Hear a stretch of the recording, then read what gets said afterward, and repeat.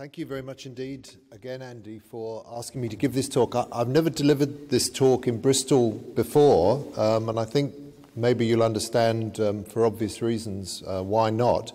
Um, I think what I want to say is that what everybody sees as the historical events surrounding Bristol are actually still relevant today, um, but I'll leave that as a question mark um, and you can decide for yourselves.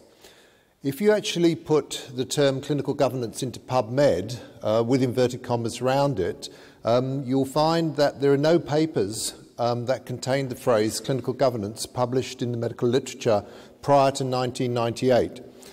1998 was the year the GMC um, found uh, three doctors guilty of serious professional misconduct um, and struck two of them off the medical register. And the medical profession was having to deal with uh, accountability uh, outside of clinical freedom. Uh, and I think if you hear the story, you'll begin to understand why it was that we needed to go through that transition. These are the three doctors. Um, one was the chief executive, John Roylance. The other was the senior paediatric cardiac surgeon, who was James Wishart, and he was also the medical director of the hospital. And the third was Janardhan Dasmana, who was the junior paediatric surgeon who wasn't struck off. He was um, found guilty of serious professional misconduct um, and ordered to retrain in paediatric cardiac surgery. The issues around relevance, I think, are our professional responses to what we might consider to be standards of medical practice that do not necessarily meet our own standards. Um, and I think that when I, what I hope to cover yesterday about the ways in which we make those judgments must be made on good ethical and professional grounds. I think the culture of the profession must be transparent uh, and has to have the patient um, as at its core. And if there is information that we're told we're not allowed to give the patient, I think it's important that we know why it is that we're not allowed to share with the patient some of the information around outcomes and prognosis. In terms of incident reporting, I think it's important and I think it continues to be important. And my feeling is um, that if it's less than 5% of, what, of the total number of incidents in the UK NHS, for me that would be something that needed urgently dealing with. And it's something that we as the profession have to begin to drive because it improves the outcome for patients. And the last thing I would say, and I think it interdigitates with what Phil Hammond was telling us is that actually whistleblowers are important in the health service and in fact they may be invaluable in terms of improving outcomes for our patients. The story for me uh, started um, in the 1980s. And I didn't realize until data was made available to the public inquiry that actually the two Royal Colleges, the Royal College of Surgeons and the Royal College of Physicians, recommended in 1980 that every paediatric cardiac surgeon in the UK should operate on 50 um, open heart surgery cases under one year of age each year. And the idea was that they had to do at least one per week in order to maintain their competence. And when they set up this ruling through the recommendations of a working party, they also said that there would be annual assessment of results and an annual review of surgeons. In fact, the annual review spread out into a three-year review, and we'll look at some of the results of some of the three-year reviews that occurred after the nomination of Paediatric Cardiac Surgical Centres of Excellence, which occurred in 1983.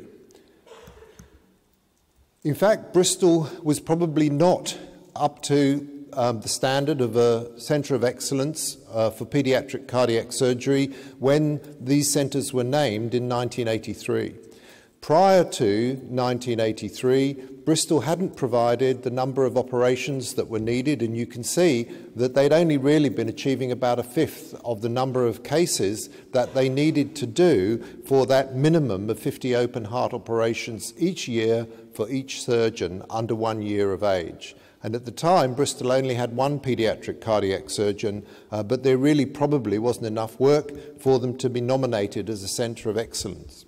In fact, at that time, when Bristol was designated, Sir Terence English who was on the college council at the Royal College of Surgeons but wasn't at that time the president, said that he would endeavour to strengthen the unit, um, and that provided enough evidence for Norman Halliday uh, to suggest that this actually was going to be okay. Um, and Norman Halliday was the secretary to the Super Regional Services Advisory Group, which was the group that set up the Centres of Excellence and then monitored their performance. After designation, Bristol still failed to achieve the number of cases that it should have been doing. That 50 cases per year, one per week, was really not achieved for the first few years. Um, and even when they uh, achieved two surgeons in 1986, the second surgeon, Janardhan Dasmana, was appointed, the number of operations was still half the number that one surgeon would have been doing. And uh, in his evidence to the GMC inquiry, Mr. Dasmana said that he believed that in 1986, when he was appointed, Bristol was still at a very low primitive level, really. Um, and that was in terms of the pediatric cardiac surgery that they were carrying out. In fact, in 1986, a working party reviewed the work of all of the pediatric cardiac surgical centres, uh, and we can see from the data here uh, that Bristol was still known, even in 1986, to be underachieving with respect to open heart surgery cases under one year of age.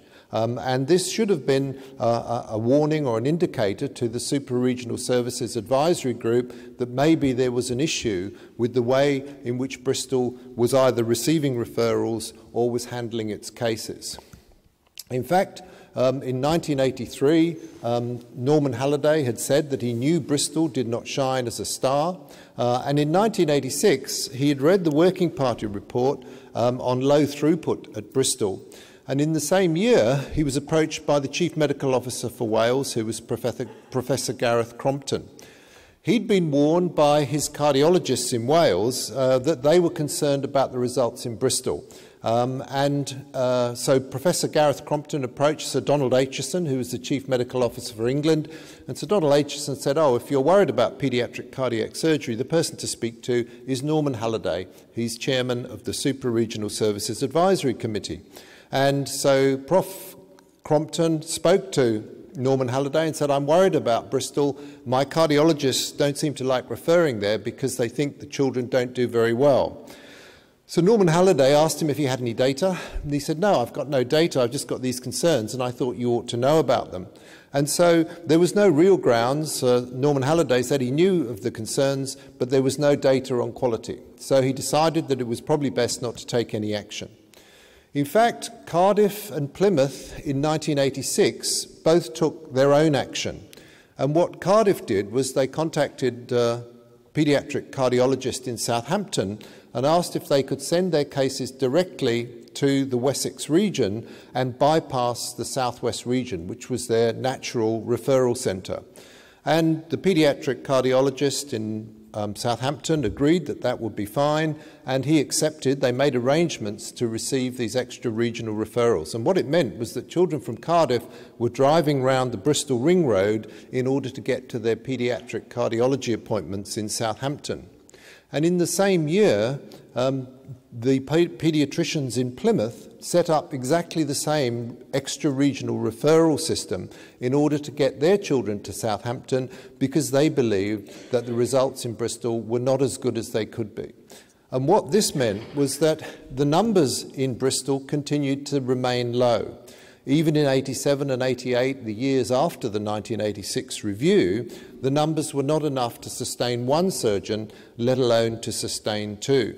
And this was the unit that I was appointed to in September 1988. In 1989, there was a second working party report, report uh, for paediatric cardiac surgery, and these were actually um, the, the illustrated figures that came from that report. Uh, and the figure um, on the left is essentially a bar graph of the numbers of operations being carried out in various centres. And the two lowest centres were Bristol, which was doing 29, um, and Newcastle, uh, which was only doing 19 cases per year. And this is um, operating on children under one year of age uh, with open heart surgery. Um, and in fact, if you look at the graph on the right, what you see is the mortality rates uh, with the 70% confidence limits. I'm not sure why 70% was chosen. And you can see uh, that the two centres with the lowest numbers of operations also had the highest mortality. And this was data um, that was made available to um, the Super Regional Services um, Review Committee. Um, and so they now had data on mortality, but nobody was expressing concerns, and so they didn't need to take any action. You can see that the other the other centres in the right-hand graph all actually were achieving a very good mortality, and it was probably roughly uh, about half of the Bristol centre. So in 1983, we knew Bristol did not shine as a star. In 1986, we had concerns but no data. And by 1989, the Super Regional Services working, the Super Regional Services Advisory Committee had data but no concerns. And so they continued to allow Bristol to operate as a centre of excellence. And in fact, uh, in 1990, the year after this, there were three centres that were singled out as requiring review. And they were Bristol, which had low numbers and high mortality, Newcastle, which had low numbers and high mortality, and Harefield, which was at that time becoming part of the joint Harefield Brompton Centre. And in their paragraph on Bristol, uh, Sir Terence English, who meticulously kept most of the documents that he had used during his time um, uh, at the Royal College of Surgeons, uh, suggested that what needed to happen was that they should encourage Bristol pro tem and protect it.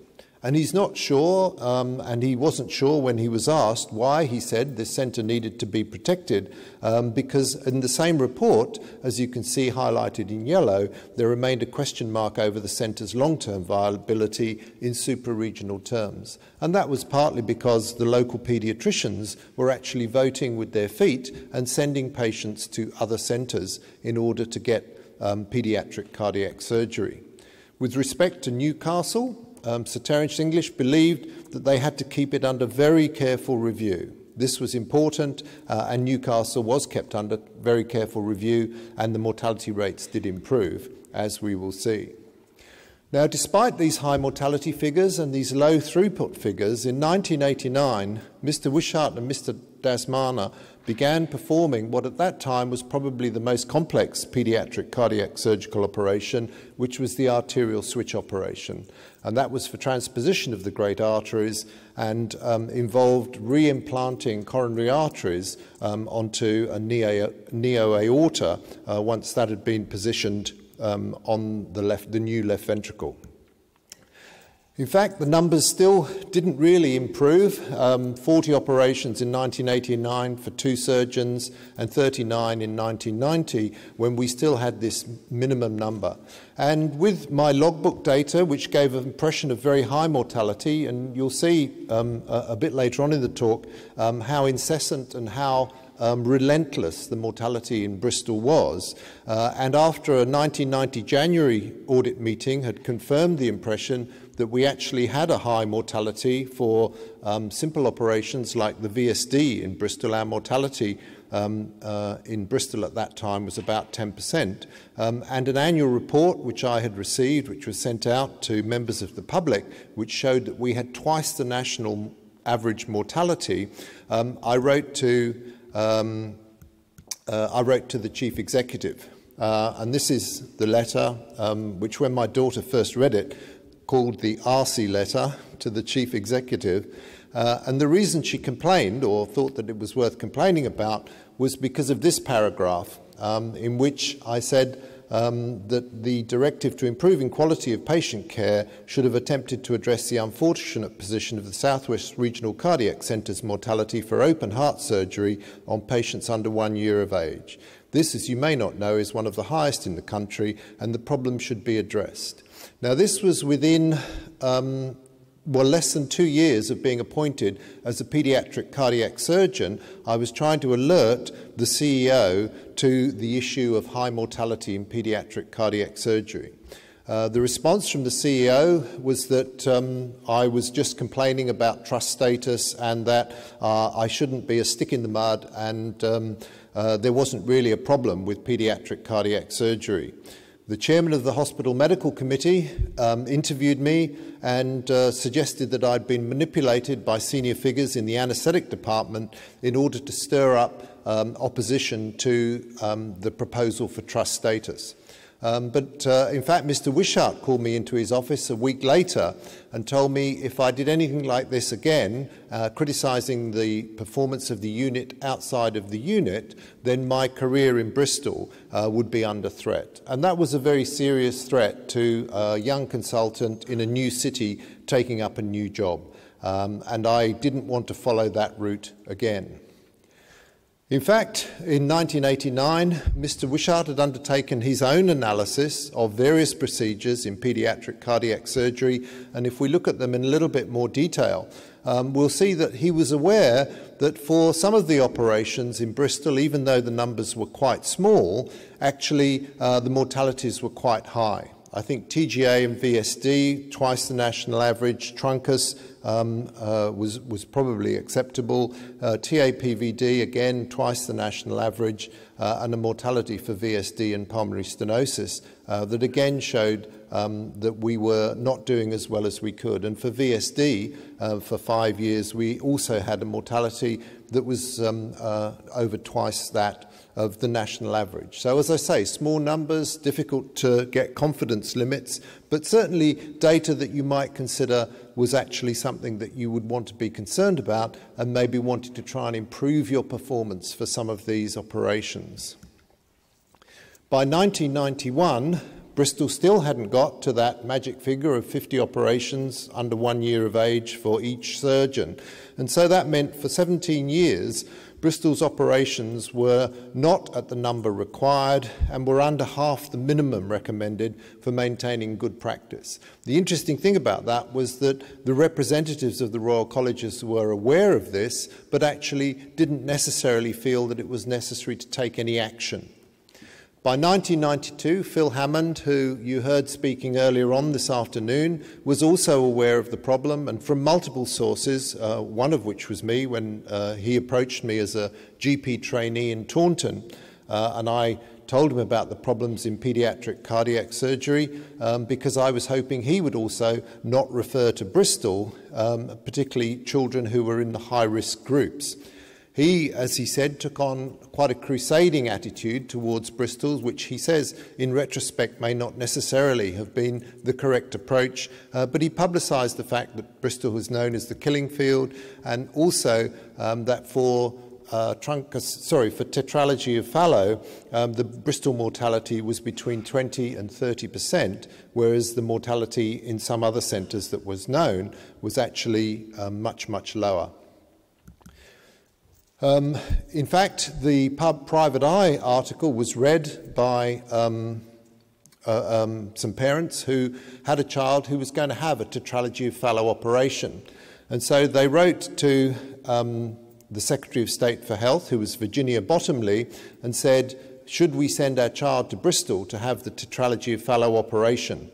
And she sent the letter down the line to the NHS Management Executive uh, uh, in London, and they said, Could you please reply to these parents? They sent the letter to, um, to John Roylance in Bristol and said, Could you please send a reply to these parents? We don't need to see a copy, but we may need to at some stage. So that at this stage, even the Secretary of State for Health and certainly the Department of Health were aware of concerns about the mortality for paediatric cardiac surgery in Bristol.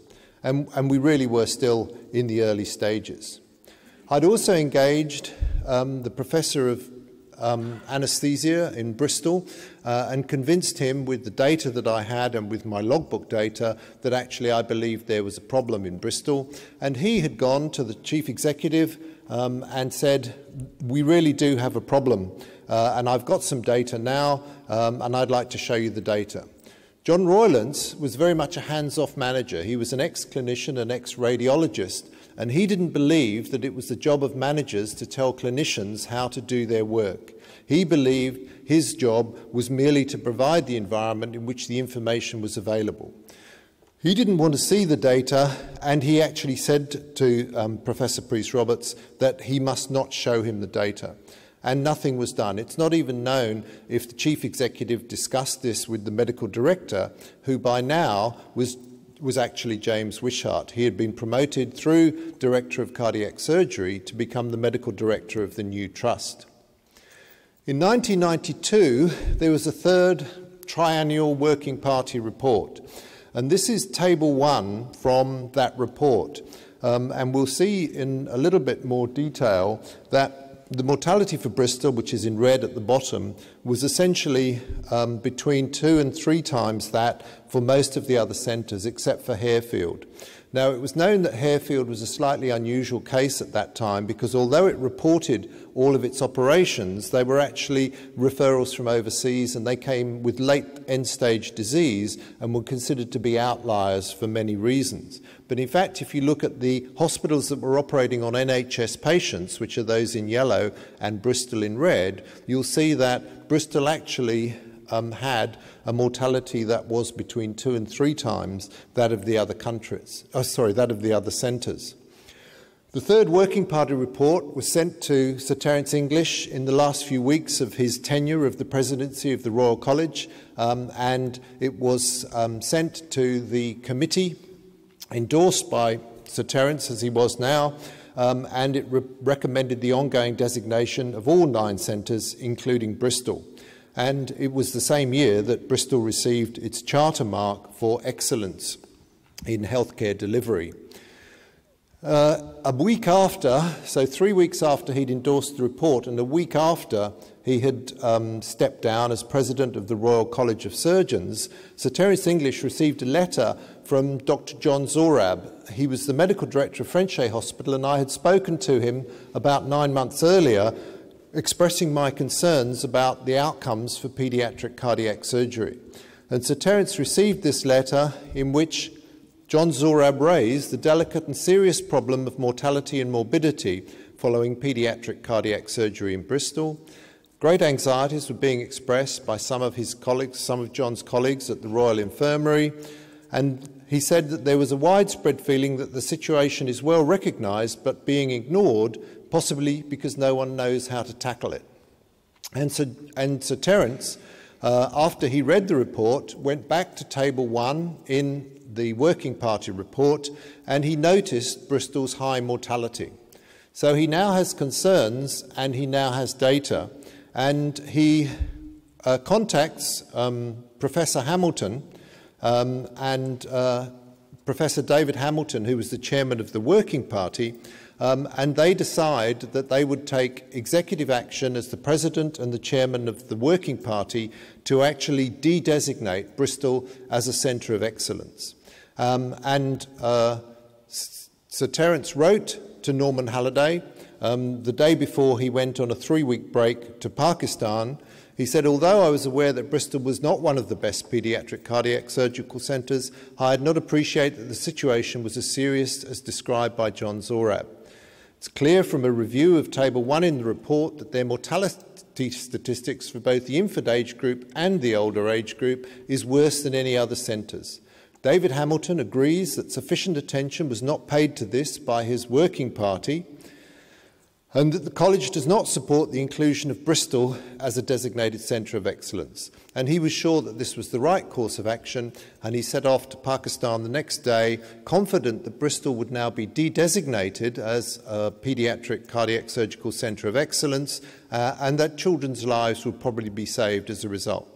For Sir Terence, the problem had been solved, uh, and then, unfortunately, while he was away, Sir Keith Ross and David Hamilton um, had another telephone conversation, and David Hamilton wrote to Sir Terence, um, although he didn't receive the letter until he returned from his holiday, and said he was not entirely happy about the agreement to take presidential and chairman's action over the Working Party report. And there was further a feeling that the de designation of one of the units would probably leak out in the course of time and it might become known that they had actually de-designated a centre on the basis of its performance, which they didn't want to happen. They didn't want that to be known. So they decided that what they would do is actually de-designate all of the units so that the status quo was maintained. And this was partly to ensure that the rapport and trust between the DOH and the college was not compromised, as it might have been by the suggestion of de-designation of one of the units. And in fact, uh, after this, um, uh, Sir Terence uh, admitted that he should have followed it up, uh, and I think it probably led to the death of something like 30 to 40 children.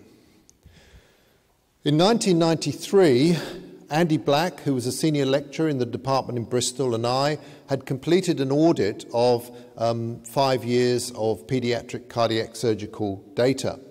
And again, we'd shown it to Professor um, Prys-Roberts, and uh, he had gone to John Roylance and said, This is really quite uh, significant data. It shows very high mortalities compared to other centres in the UK.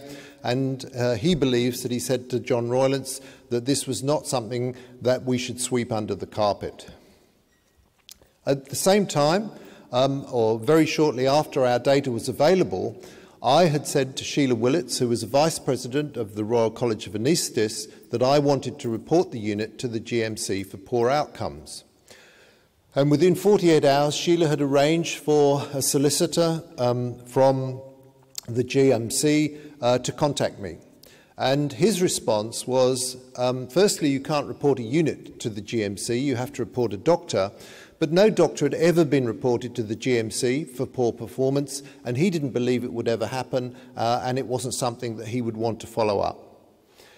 If my complaint was not upheld, he reminded me, then the person who I had, I had accused of poor performance could counterclaim for serious professional misconduct as my claim would have been bringing their reputation into disrepute. And he believed that even if my complaint was approved by the lay screener to go to the GMC, the only way the GMC would investigate my complaint was through the three wise men procedure. And he said, Have you heard of the three wise men? And I said, Yes. He said, Do you know what the process is? And I said, Well, no, I'm not entirely clear. He said, Well, what happens is that the General Medical Council will contact the medical director of the hospital. The medical director of the hospital then becomes one of the three wise men, and he has to appoint the head of the unit that is being complained about in order to investigate the complaints about that unit. They have a consultant psychiatrist, but the consultant psychiatrist is only to adjudicate on whether the person who is being accused of poor performance is, is, is, a, is addicted to narcotics, has florid psychosis, or is suffering from alcohol addiction. And that's all the consultant psychiatrist can do. So the situation would have been, and could not have been varied, that Mr. Wishart would have been sitting and adjudicating his own performance. And the solicitor reminded me that not only was it unlikely that he would see that he was performing badly, actually, he would then actually squash the case and I would be sued for bringing his reputation into disrepute because an allegation would have been made which was not upheld by the GMC. So this route was actually not available to me in order to get the GMC to look at the performance uh, of the unit or of Mr. Wishart. In 1994, um, because I was an adult um, cardiac surgical um, audit uh, anaesthetist, I was auditing the results in Bristol and also in some of the other units through um, the Association of Cardiothoracic Anaesthetists, and I was sitting on a committee that was looking at the audit of all adult cardiac surgical procedures in the UK. And I met a Department of Health official called Peter Doyle. Um, we, uh, we used to meet, uh, and Bruce Keogh was one of the people uh, on this committee as well.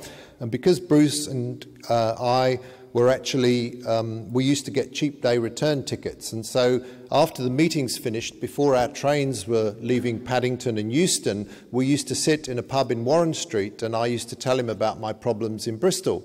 And he didn't have much in the way of solutions. He said he would speak to Bill Brawn, who was a well known paediatric cardiac surgeon in Bristol who was very good at paediatric cardiac surgery. Um, and we decided that what we needed to do was actually get um, Peter Doyle to come down to visit us in Bristol. Uh, and so we arranged for Peter uh, to come down. Um, Uh, six cardiac anaesthetists by now had written to the director of anaesthesia about the arterial switch program because we were so worried about neonatal arterial switches. Um, and the D- Department of Health, through Peter Doyle, raised their concerns with the Trust and they agreed to appoint a new surgeon and to improve facilities.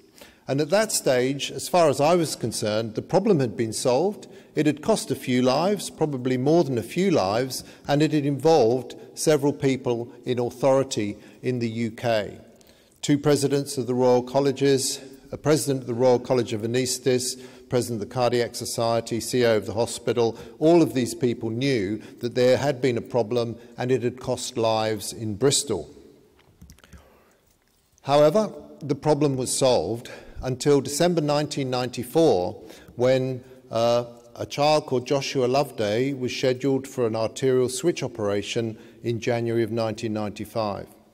And Gianni Angelini, who was the professor of cardiac surgery in Bristol, and I uh, expressed serious concerns for the safety of this child.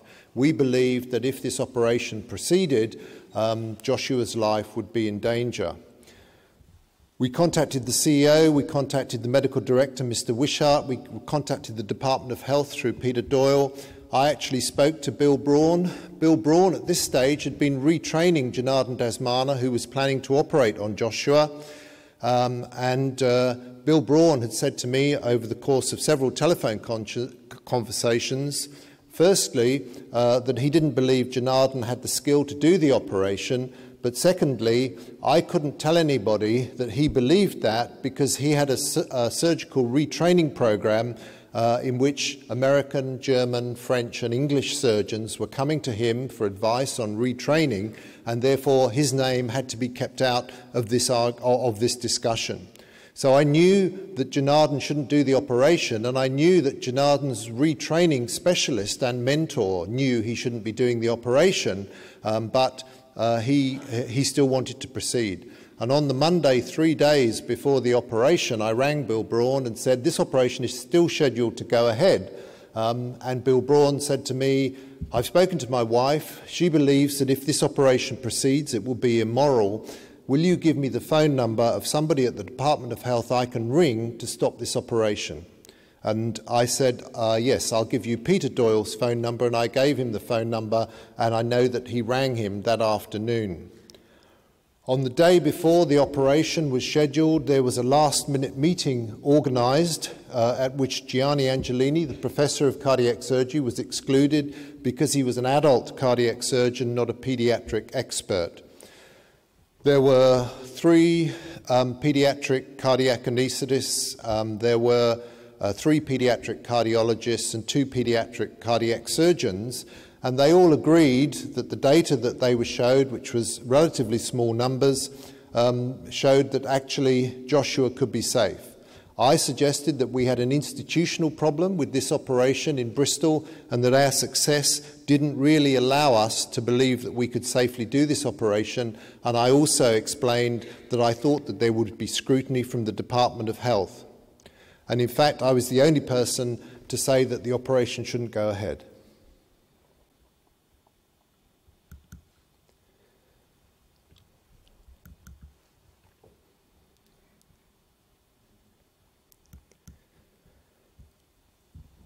Joshua died.